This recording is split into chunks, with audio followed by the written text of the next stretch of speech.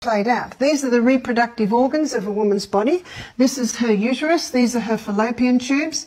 These are the ovaries, and that is the birth canal. And between the birth canal and the uterus is the cervix, right in there. What effect does estrogen have at this time of the month? Estrogen causes massive cell growth in the lining of the uterus, causing the blood nest to develop. As a cell proliferator, that's what it's good at, causing massive cell growth. Estrogen is also causing massive cell growth in the ovaries, causing an egg to develop. Estrogen also causes a form of lubricant to be released in the birth canal. By day 14, a fully developed egg bursts forth from the ovary.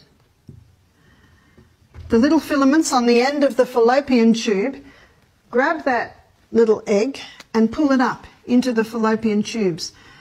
The fallopian tubes are ever moving forward like this, causing that egg to move up, up. The hole where the egg bursts forth develops a blister. And that blister is called the corpus luteum.